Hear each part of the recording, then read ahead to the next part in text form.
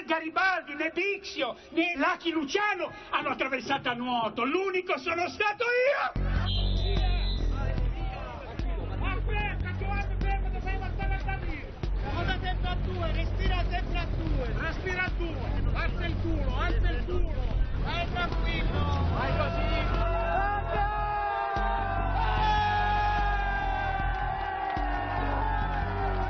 Bookmaker dall'Inghilterra che scommettevano sul mio infarto nel primo miglio. Ma cazzo, nessuno credeva che io potessi venire a nuoto da voi. Allora stasera è una puntata fantastica perché i collegamenti saltano, eccoli, poi tornano. Mi scuso con Luigi Di Maio, ecco, lo vediamo, ce l'abbiamo?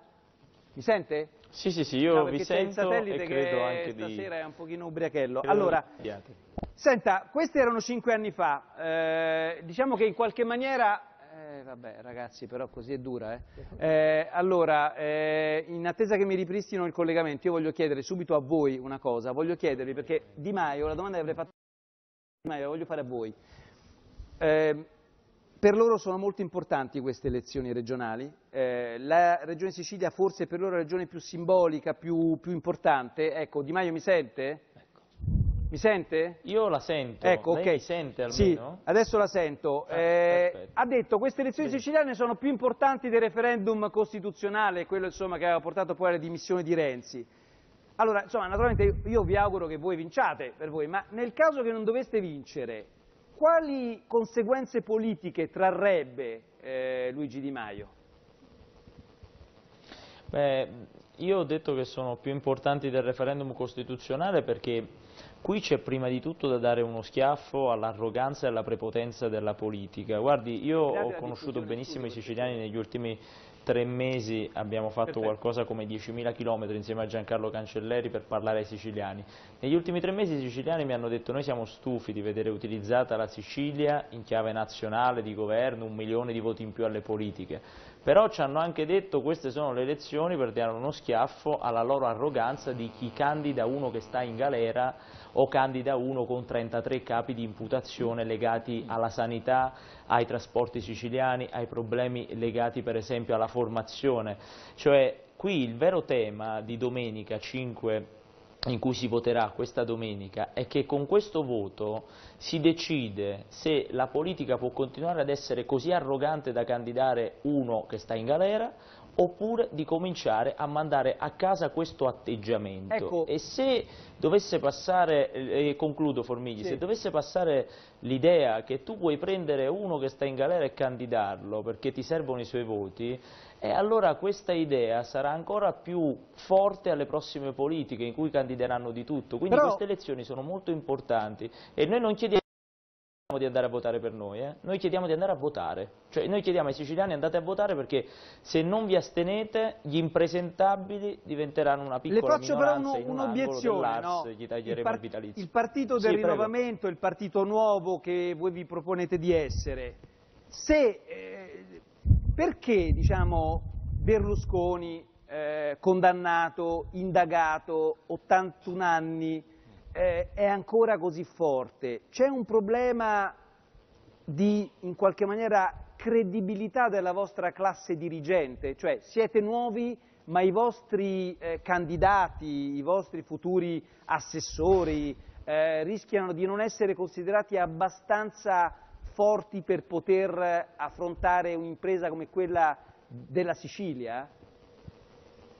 Beh, questo vediamolo lunedì quando si faranno gli spogli perché qui eh, il risultato arriverà penso verso mezzogiorno di lunedì, il risultato delle elezioni regionali. Però le dico una cosa perché eh, a volte forse io mi spiego anche male, voglio anche dire questa cosa.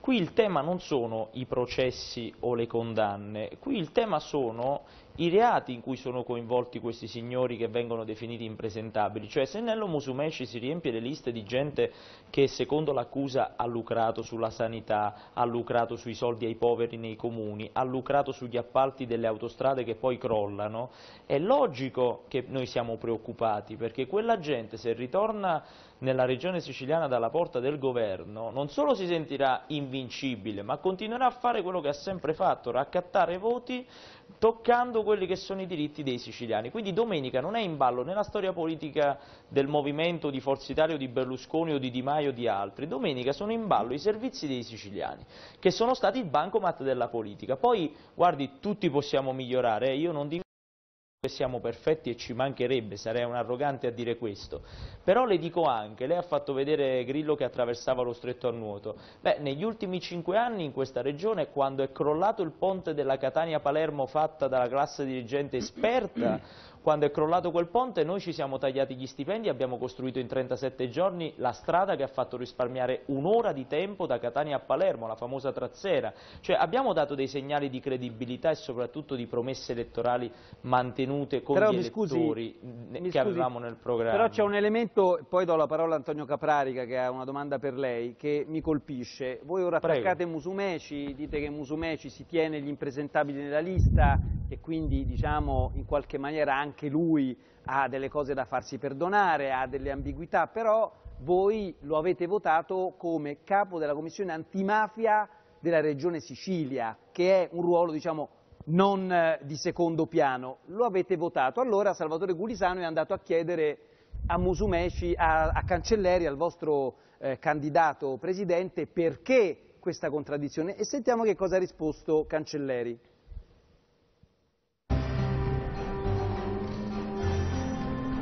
Grillo cinque anni fa era arrivato a nuoto, si è cambiato in cinque anni. In cinque anni è una meraviglia, siamo qua per un referendum. Referendum tra voi e Musumeci? Sono i referendum tra un mondo e un altro. Ci sono gli impresentabili perché i valori morali che c'erano una volta non ci sono più e non ci sono valori nuovi. Voi riuscite a fare una selezione? E noi riusciremo a, a inserire qualche, perlomeno qualche valore. I 5 Stelle attaccano da giorni il centrodestra sugli impresentabili e dopo che Musumeci ha fatto l'appello per non votarli, attaccano direttamente anche lui. Voi siete stati nel Parlamento siciliano, c'eravate anche voi no, a votarlo quando lui era stato messo a capo della, della commissione, della commissione antimafia. antimafia, quindi vuol dire che prima vi, fida vi fidavate, ora invece solo perché il vostro avversario politico Guarda, lo attaccate eh, oppure no, avete no, cambiato idea? No, no, Vi eravate no. sbagliati? No, non ci siamo sbagliati. In un momento di difficoltà della sua vita personale abbiamo creduto tutti, facendo un ragionamento che di politica non aveva nulla, ma era un ragionamento umano, che in quel momento era giusto dargli anche ehm, uno scopo. Cancelleri ha appena detto di aver votato Musumeci a capo della commissione antimafia non per le sue competenze ma per compassione, citando la morte del figlio trentenne. Noi abbiamo voluto dargli un attestato di stima umano, perché lui stava, in quel momento aveva subito una grave mancanza. Ecco, lei co condivide questo ragionamento con il massimo rispetto per la tragedia ovviamente di, di, di Musumeci, gli siamo tutti vicini, però Cancelleri dice noi abbiamo messo, votato Musumeci per questioni extrapolitiche, per questioni umane. Ecco, però è, è comprensibile per lei questo tipo di Ah, ragionamento? Guardi, io guardi, le dirò di più, io più volte parlando con Giancarlo Cancelleri, ma anche con tanti siciliani, tutti mi hanno detto ma Musumeci è una brava persona, il problema è che quando si candidava per provare a vincere con brave persone nelle liste non vinceva, adesso ha venduto l'anima al diavolo mettendosi dentro quelli che erano i candidati di Miccichè, cioè l'uomo forte di Berlusconi in Sicilia che candida anche quelli che stanno in galera. E questo è il problema vero, lei non sa quanta gente di destra qui sto incontrando in Sicilia che mi dicono ma come? Musumeci era il riferimento della vecchia destra siciliana, quella delle regole della meritocrazia e si fa fare le liste da Miccichè che è l'uomo di Berlusconi che ha candidato gli impresentabili, si fa fare gli assessori, la lista degli assessori sempre da Miccichè e allora io che lo voto a fare Musumeci se mi devo ritrovare Miccichè, Caprarica. questo me lo dicono No, tante Caprarica. persone. Io capisco naturalmente forse è più fruttuoso per una forza politica puntare il dito sugli impresentabili dell'altro fronte e questo è comprensibilissimo, anche se ho molti dubbi su questa persistente polemica e retorica contro la politica, come ci ha detto lei all'inizio, la politica piazza gli impresentabili. Perché invece il suo partito, perché ormai di questo si tratta, non punta non solo il dito, ma le proposte politiche contro un sistema di potere che è ben preciso e determinato che ha nomi e cognomi e per, intanto non propone anche delle misure concrete per smontarlo. Faccio un piccolo esempio. Ammettiamo che i 5 Stelle vincano questa partita elettorale in Sicilia. Mi dice che cosa farete dei famosi 22.000 forestali che fanno ridere tutto il mondo e che una settimana fa qui noi eh, mostravamo come un esempio del malcostume siciliano? Mi dice che cosa farete delle varie normative varate dall'Arsa, ad esempio l'ultima, quella di cui erano pieni i giornali oggi, secondo cui i funzionari pubblici non hanno l'obbligo di legge di provvedere allo smantellamento degli edifici abusivi? Glielo chiedo perché, se non mi sbaglio, anche dalle sue file più di qualcuno ha parlato certe volte di abusivismo di necessità, che è una fantastica foglia Sentiamo di fico Di Maio. per coprire molte brutture Forestali- delle spiagge siciliane. Forestale e abusivismo.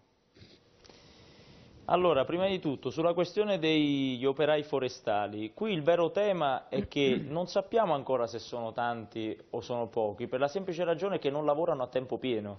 Qui eh, No, noi forestali dovremo mettere a Maio, lavorare. perché abbiamo ai- mostrato una settimana Sì, fa sì, che in sì, Canada ce ne sono subito. 4.000 e in Sicilia 23.000, Sì, sì, sono sì, tanti. ma qui Eh. il tema è che queste persone, queste persone noi le vogliamo prima di tutto destinare a tempo pieno sia ai beni culturali, sia alla tutela del territorio, sia alla tutela del dissesto idrogeologico. Poi, una volta che li avremo messi a tempo pieno, perché queste persone a volte non lavorano neanche il 50% di tutto l'anno, allora capiremo se ci servono tutti oppure no. Il vero tema dei forestali è che si danno i valori assoluti, ma non si dice quante ore lavorino durante l'anno ed è per questo che poi io mi chiedevo come fosse possibile che comunque le foreste sono e i boschi sono in queste condizioni in Sicilia che vanno a fuoco ogni estate, oppure sui beni culturali siamo totalmente, ehm, totalmente scoperti nella gestione. Allora qui si deve fare un accordo chiaro con quelle persone. Noi abbiamo bisogno di personale in varie risorse di questa regione. Sarete destinati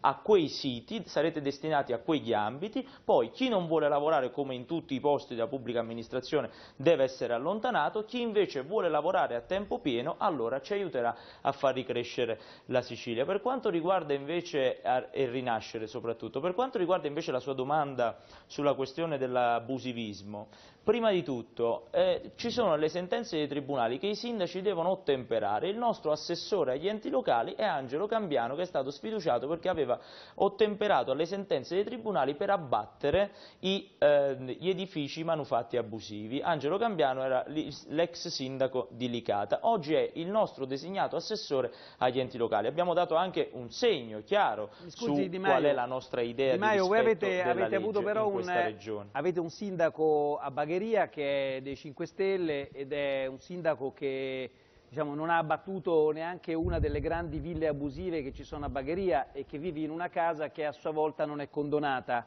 Cioè la sensazione è che poi quando si iniziano, si entra nel, nel fare le cose, le difficoltà siano tante, che sia Forza Italia, che sia il Pro Democratico, che siano i 5 Stelle, poi Formigli, quando mi si scusi, tratta di ma- buttare giù con le ruspe non riesce a farlo nessuno. Questo problema qui eh, lo rileva No, no, anche mi lei per- oppure no? Mi permetta, Prego. Mi permetta, cioè, eh, Patrizio 5, che oggi è sospeso dal movimento per un'altra questione che non riguarda l'abusivismo, che è il sindaco di Bagheria, è stato anche minacciato per aver iniziato gli abbattimenti di ville legate alla criminalità organizzata mafiosa. Io le dico con molta franchezza, eh, domenica è una grande opportunità per la Sicilia perché si decide in mano a chi mettere i superpoteri dello statuto speciale. Pensiamo solo al fatto che Lombardia e Veneto hanno fatto un referendum per cercare di ottenere la metà dell'autonomia che questa regione già ha. Quei superpoteri o li mettiamo di nuovo in mano a quelli che l'hanno già governata questa regione, Miccichè, Cuffaro, Sì, però le, Lombardo però le e case Musumeci, abusive vanno buttate giù Di Maio, cioè di- le case abusive vanno buttate giù perché se non date un segnale voi Sì, che sì, siete eh. un partito diciamo di rottura o vi dichiarate tali, eh, il problema è che a Bagheria Formigli, le ville sulla detto- costa ma chi, detto, ma chi ha detto il contrario? Chi ha detto il contrario? Le sentenze dei tribunali dicono che si devono abbattere, si abbattono. Quando in alcuni casi non si possono abbattere, si acquisiscono a patrimonio pubblico. Questo lo abbiamo sempre detto e lo continuiamo a dire a tal punto che abbiamo reclutato come assessore agli enti locali il sindaco che è stato sfiduciato perché abbatteva le case. Ma che altro le devo dire io sugli Va abbattimenti? bene, allora si fermi. Non mettete più, non insinuate più su No, di no, noi no, alcune non cose non niente, sono noi vere. abbiamo documentato una situazione ancora grave in Sicilia e anche a Bagheria purtroppo, ci auguriamo che non sia più così. abbiamo Certo, e racconta- l'hanno abbiamo creata gli raccontato esperti che... della politica, l'hanno creata quelli lì che oggi dicono che vogliono salvare sta regione, sono quelli che l'hanno massacrata. Questa è, la- è una regione che nel 2015 ha perso 100.000 cittadini ed è al 22% di disoccupazione. Noi vogliamo parlare di programmi, parliamo di sanità, parliamo di tagli Allora, degli sprechi fermi- per metterli nei soldi per fare che do- stage per i giovani presso la regione. Pochissimi- Cominciamo a parlare dei temi, come diceva Capranica. Allora con Luigi Di Maio in collegamento dalla Sicilia, da Caltanissetta, con Antonio Craparica e Peter Gomez vi faccio ascoltare un breve intervento di eh, Alessandro Di Battista. Ascoltate.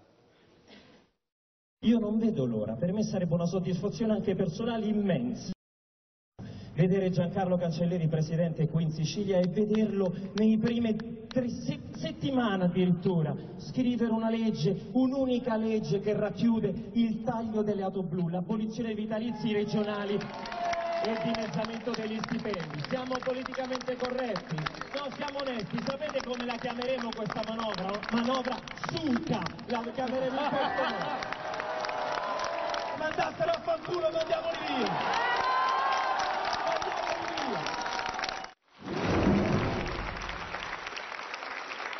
Scusi Di Maio, cosa sarebbe la manovra, la, la legge Succa esattamente? Cioè, te- Eh, sostanzialmente amme- ammetterà che, che Alessandro riesce sempre a trasmettere il senso anche di una proposta di legge. Sono due righe di legge, aboliamo 17 milioni di euro 17 milioni di euro di vitalizi, grazie allo statuto speciale possiamo abolirli qui, agli ex deputati regionali e tagliamo e dimezziamo quindi lo stipendio ai deputati regionali. Questa Questi soldi li mettiamo in due progetti, uno, uno per fare gli- far fare ai giovani degli stage presso la regione siciliana, giovani siciliani che stanno per emigrare invece devono avere un'opportunità di formazione e lavoro qui, e un'altra parte li mettiamo invece in un progetto per le giovani donne in gravidanza che sono libere professioniste, le affianchiamo un tutor per gestire la loro professione durante la gravidanza. Peter Gomez. Senta, eh, Di Maio, eh, anche voi avete lo stesso problema probabilmente di Musumeci. Eh, se vincete le elezioni, eh, stando così i numeri, eh, dovrete trovare poi una maggioranza all'Assemblea regionale siciliana. A me colpisce che le uniche aperture sono arrivate dalla lista di Claudio Fava. Claudio Fava che ha fatto capire che forse potrebbe darvi una mano, però lo stesso Claudio Fava vi accusa di essere non sufficientemente incisivi o teneri nei confronti delle cosche e fa due esempi. Dice, già nel- secondo me, dice Fava, parlano poco di questione mafiosa nei loro comizi, non sono mai andati in luoghi simbolo della mafia come Castelvetrano, la città di Matteo Messina Denaro, e in più c'è stata una polemica dura negli ultimi giorni nei confronti di un vostro candidato, Lidestri, che è proprio il costruttore della famosa strada, della famosa trasfera, il quale da atti giudiziari è saltato fuori essere il cugino oh, di un presunto boss mafioso ah, e addirittura, secondo questi atti giudiziari, secondo la lettura che davano i carabinieri di una serie di intercettazioni, non avrebbe denunciato il pizzo. Ci sono state una serie di querele, eccetera. La- sul punto di Dressi le chiedo, ma voi con eravate a conoscenza prima di questa operazione antimafia che risale a tre anni fa? Conoscevate queste carte? Avete fatto una valutazione oppure la valutazione la fate solo adesso nel momento in cui il caso è esploso e l'Idestri ha detto non è vero niente, l'ho già spiegato ai carabinieri? Qu- quindi, caso, Lide- caso Lidestri, per eh, Partiamo- riassumo, eh, sì, perché non siete mai andati a perché- Castelvetrano, Sì. città simbolo della lotta alla mafia, Sì. la città di eh, Matteo Messina Denaro, e perché pronunciate così poco, vi accusa Claudio Fava, la parola mafia? Prego. Allora, prima di tutto partiamo dall'ultima cosa. Eh, Fava è stato querelato per quello che ha detto, perché Lidestri non sente suo cugino da 30 anni e tra l'altro non si evince dalle carte che si erano sentiti, tant'è vero che gli stessi carabinieri che lo hanno interrogato, Lidestri, e le stesse carte lo individuano come parte lesa, ma lui stesso ha detto che non ha mai ricevuto richieste di pizzo, non ha mai pagato il pizzo e i carabinieri non lo hanno mai indagato per nulla, nonostante lo abbiano anche ascoltato. Ovviamente le carte della magistratura noi non le conoscevamo, ma la persona eh, candidata aveva detto a Giancarlo guardate che io non sento mio cugino da 30 anni, Giancarlo Cancelleri ovviamente sto dicendo. Quindi su questa questione qui mi dispiace perché io Claudio Fava lo stimo per il lavoro che fa nella Commissione antimafia e dovrebbe sapere benissimo che prima di fare la cosiddetta mascariata, come si dice in siciliano, dovrebbe leggersi bene gli atti. Tanto è vero che questa cosa poi ha avuto la reazione della persona che ha dovuto querelare Claudio Fava e ci dispiace anche anche perché è inutile arrivare alle querele, basterebbe stare attenti. Precedentemente invece vi dico, io ogni giorno attraverso qua simboli della lotta alla mafia e questa è una regione che a causa della mafia in alcune parti per fare 30 chilometri devi fare un'ora di tragitto. E perché? Perché politica e organizzazioni criminali hanno lucrato sulle strade, sulle infrastrutture, sulle autostrade, sulle ferrovie. Ci sono province che non hanno ferrovie, alcune hanno ancora la littorina a gasolio. Io parlo di mafia ogni qualvolta denuncio i disservizi di questa regione perché è il frutto di una commistione tra politica e mafia. Non è un caso che degli ultimi tre presidenti di regione due siano stati coinvolti in processi legati alla mafia, uno lo avete anche intervistato prima. Quindi noi come vogliamo combattere la mafia? Tra l'altro la mafia si combatte, non è che se ne debba parlare troppo in campagna elettorale, perché i siciliani non ne possono più di sentir parlare soltanto. La mafia si combatte estinguendo o mettendo all'angolo quella parte di politica che è sempre scesa a compromessi con la mafia e che anche nello schieramento di Musumeci e che oggi viene a dire che vuole salvare questa regione. Perché non andate domani che è l'ultimo giorno... Pazzi perché domani, che è l'ultimo giorno di campagna elettorale, non andate a Castelvetrano come gesto simbolico? Domani siamo a Palermo, se vuole andiamo a Via D'Amelio, se vuole andiamo a, se vuole andiamo a Capaci. No, sinceramente io di, io di, queste passerelle nei luoghi della sofferenza di questa terra e dei siciliani ne ho già abbastanza. Cambiamola questa regione, utilizziamo lo statuto speciale per cominciare a cambiare veramente le cose. Dobbiamo solo andare a votare domenica, nient'altro io sto chiedendo, solo di partecipare Caprarica. alle elezioni. No, ma eh, a questo punto, diciamo, dando per... Eh, accantoniamo un attimo la Sicilia e parliamo con Luigi Di Maio il giorno dopo le elezioni nazionali, immaginiamo che abbia ricevuto il mandato dal Presidente della Repubblica. Si presenta in Parlamento, così continuate a dire, noi ci presentiamo in Parlamento, presentiamo i nostri provvedimenti. Mi piacerebbe tanto sapere, non dico i primi cento giorni, quali saranno i vostri primi provvedimenti. Ma sa perché mi piacerebbe saperlo? Perché continuate a dire chi vuole li vota. Ora, gli unici che sembrano disposti a votarli, al momento naturalmente, sono i leghisti e in primis Salvini. Allora mi chiedo, ma che razza di provvedimenti state preparando? Eh, riguardano forse la legittima difesa e la totale depenalizzazione della legittima difesa, se Salvini vorrà votarli, riguardano l'immigrazione, riguardano l'uscita dall'euro. Vorrei tanto capire quali sono i punti di convergenza programmatici tra voi e quel signore che continua a farvi l'occhiolino e al quale voi per la verità non è che proprio avete sbattuto la porta in faccia. Se vuole può accomodarsi, l'ha detto lei stesso poco tempo fa, e votare i nostri provvedimenti. Quali?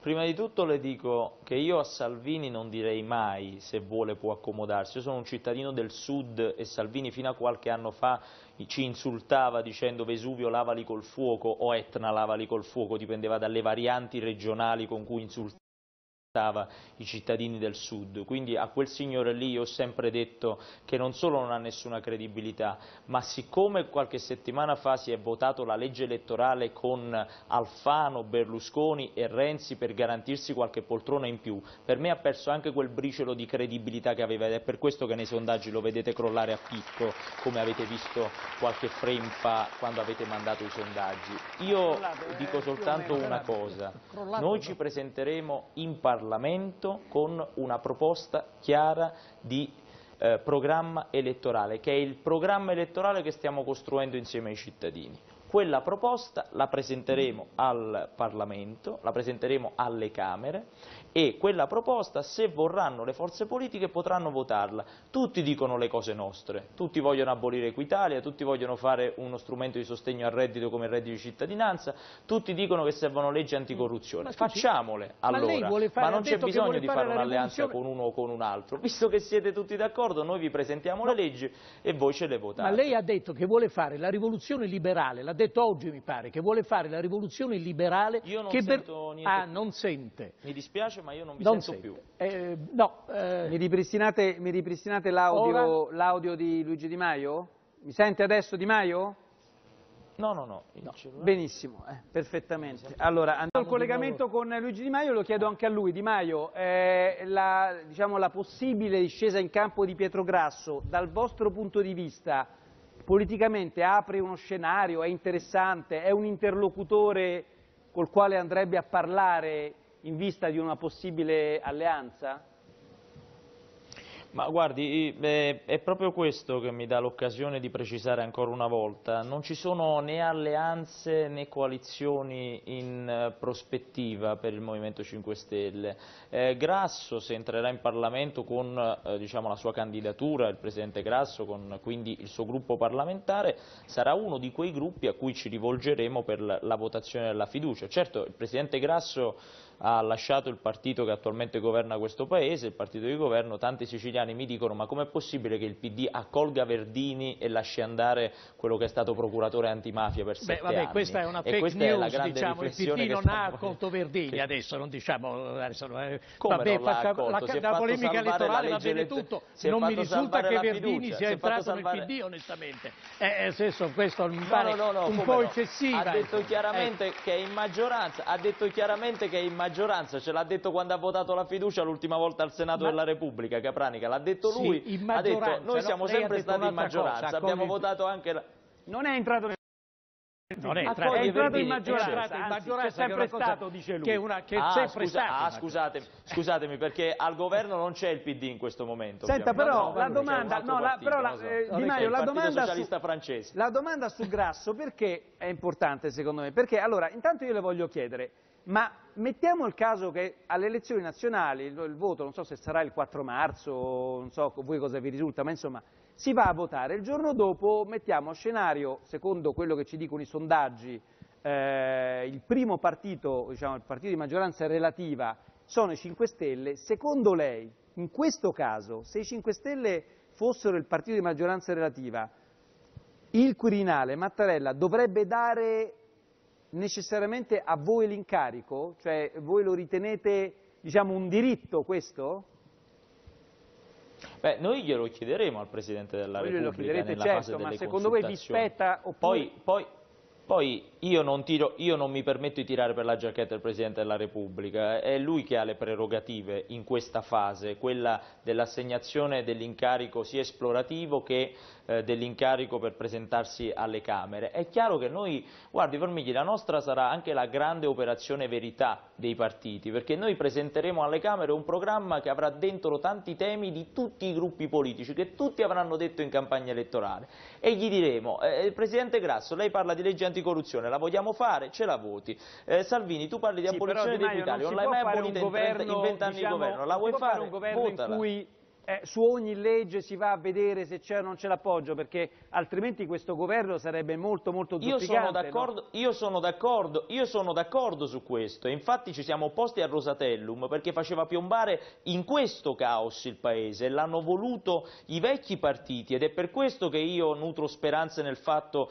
di non aver bisogno dei vecchi partiti per andare al governo di questo paese, perché dopo il Rosatellum deve essere chiaro ai cittadini che chi ha votato quella legge la vuole far piombare nel caos l'Italia, basta non votarli più per farli sparire e avere l'occasione di un governo solido ma soprattutto di una forza politica. Senta, una... lei oggi ha fatto un'intervista al quotidiano L'Avvenire, un'intervista in cui, eh, a proposito del vostro programma economico, dice è inutile girarci attorno, bisogna tornare a fare deficit, bisogna fare deficit per fare le riforme che vogliamo fare. Ma scusi, con questa logica del deficit non è la logica che ci ha portato eh, a carte 48 come stiamo adesso, nel senso fare deficit per diciamo, fare le proprie politiche non è il modo con cui la vecchia politica ha scaricato sui giovani poi un enorme debito che è quello che ci troviamo oggi? Guardi, la ricetta di questi anni è stata fallimentare perché per restare nei parametri europei noi segniamo un nuovo record del debito pubblico continuamente. Che cosa hanno fatto Spagna e Francia in questi anni, che sicuramente sono paesi che avevano difficoltà economiche, magari non avevano il debito pubblico così alto, ma in ogni caso loro neanche lo stavano riducendo stando nei parametri. Hanno chiesto alla Commissione europea di, di sforare i parametri del 3%, hanno preso quei soldi e la Francia li ha messi nelle politiche alle famiglie, significa che pagano babysitter, pannolini, scuola ai bambini neonati o ai bambini più grandi, che significa anche aumentare le nascite. Noi siamo l'ultimo paese per nascite in Europa, la Francia è il secondo paese per nascite, la Spagna invece ha abbassato il costo del lavoro alle imprese facendo aumentare il lavoro. Loro sono paesi che vanno meglio di noi e ripagano il debito, perché facendo investimenti si ripaga il debito, cosa che invece in Italia non funziona. Noi ci siamo svenduti gioielli di Stato, Ansaldo Brede, Ansaldo STS, pezzi di Tern e di Cassa Depositi e Prestiti per ripagare un debito che continua a crescere. Quindi facciamo un po' di deficit per ripagare anche il debito con quegli investimenti. Gomez mi sembra... Eh? No, volevo a proposito di economia, perché questo è molto importante. Rapidamente voglio sentire anche Gomez. Sì, eh, ma Più, molto rapidamente... convince no, Antonio perché la, mi pare la, assolutamente la in contraddizione con la rivoluzione liberale di cui parlava questa mattina. Se vuole fare la rivoluzione liberale deve seguire la strada esattamente opposta. Lasci perdere Francia e Spagna. La Spagna aveva il 60% del debito, la Francia non arrivava alla, al 90% noi siamo al 132%. Allora se lei continua invece a dire a, o a, pro, a, prospettare delle misure di sostegno e come dire, di supporto pubblico o una presenza importante dello Stato in economia, è il contrario di quella rivoluzione liberale di cui invece aveva parlato. Oltretutto le faccio presente che per quanto, sì, per quanto riguarda il, il, sostegno al costo del lavoro, alla riduzione del costo del lavoro, beh, in Italia è stato tentato e voi avete sparato ad alzo zero, se non mi sbaglio, contro il governo Renzi su Di questa Maio materia. e poi Gomez. Allora, prima di tutto eh, diciamo le cose come stanno. Quando lei parla del tentativo di riduzione del costo del lavoro in Italia sta parlando del Jobs Act. Io qui in Sicilia nelle piazze incontro tre categorie di persone, chi gli ha rovinato la vita il Jobs Act, chi ha rovinato la vita la legge Fornero e chi gli ha rovinato la vita la legge sulla buona scuola. Queste tre leggi le vogliamo abolire e sicuramente non stiamo parlando del Jobs Act come misura per la riduzione del costo del lavoro. La Spagna ha fatto investimenti strutturali, che significa, ha detto agli imprenditori, state tranquilli che sarà sempre questo il costo del lavoro d'ora in poi. Non è che per tre anni ve lo abbassiamo e poi tra tre Una anni ritorniamo ai della costi Guardi che in Spagna hanno abbassato gli stipendi dei dipendenti pubblici Appunto. in una maniera molto drastica. eh. Io non voglio abbassare gli stipendi, io non voglio abbassare gli stipendi, voglio abbassare il costo del fatto, lavoro però. alle imprese. Poi mi permetto di dire un'altra cosa, sulla questione dello- della rivoluzione liberale. La rivoluzione liberale in questo Paese significa che lo Stato la smette di sprecare soldi nella pubblica amministrazione o nei privilegi della politica Giusto. e per fare questo, invece di licenziare i commissari alla spending review che sono stati licenziati in tutti questi anni, andiamo a tirare fuori dai cassetti quei progetti che dicevano che in Italia ci sono 8.000 società partecipate e ce ne Oh, servono al massimo perché non 1.000. cominciate a E chiuderla, cominciamo ad abolire i consigli di amministrazione. Perché non cominciate a Come chiudere? dice? Perché non cominciate a chiuderle? Infatti a siamo cominciare passati- dal Comune di Roma, siamo non mi passati- sembra che lo state facendo. Infatti l'assessore Colomban, Eh. l'assessore Colomban, vede Capranica, io- a me dispiace, magari qualche volta ci possiamo anche confrontare, però il nostro progetto passa da 11 a 9 partecipate, abbiamo preso l'ATAC che è la più grande società di trasporti di Roma e l'abbiamo portata davanti a un giudice con il concordato preventivo in continuità e abbiamo detto a quel giudice adesso tiriamo fuori le responsabilità ma soprattutto tagliamo gli sprechi. Quindi non solo abbiamo accorpato le partecipate ma per la prima volta abbiamo portato in un tribunale la mangiatoia della politica Peter che era una società che invece di dare trasporti ai, ai romani dava vantaggi ai politici. E noi abbiamo tirato fuori e cacciato da Atac la parentopoli di Alemanno, le ha licenziati l'assessore Meleo, quelli Gomez. assunti con la Allora, parentopoli di Alemanno, quindi Di Maio- su Di questo Maio, credo che abbiamo è- la credibilità per affrontare Lei- questo tema. Di Maio, lei ha annunciato che prima delle elezioni politiche renderà nota la sua squadra di governo. Volevo capire, uno, se tutto in parte, due, come crede di trovare in Italia professionisti di alto livello disposti a mettere la faccia non solo sui 5 Stelle ma su qualsiasi partito? Non è mai successo in Italia che qualcuno che non fosse un politico era disposto a dire prima, qualcuno di credibile diciamo, uh, che fosse disposto a dire sì io mi spendo per loro e quindi farò il ministro.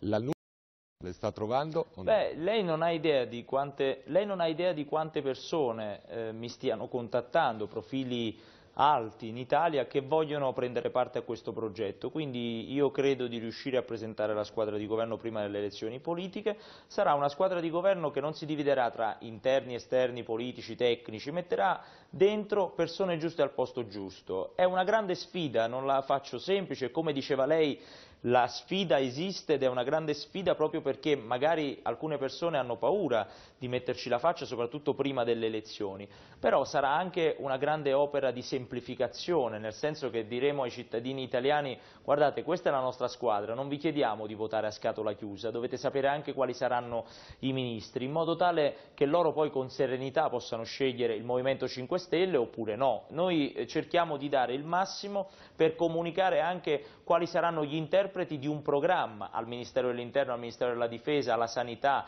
La quando sanità, date, guardi, quando la date questa squadra di governo, scusi Di Maio, quando prevede... Prima delle elezioni politiche. Prima delle elezioni politiche. Prima, prima delle ci saranno politiche. tutti i ministri del dell'ipotetico governo 5 Stelle. Lavoreremo, a presentare, lavoreremo a presentare tutta la squadra. Per esempio sul tema della sanità, io dico solo questo flash.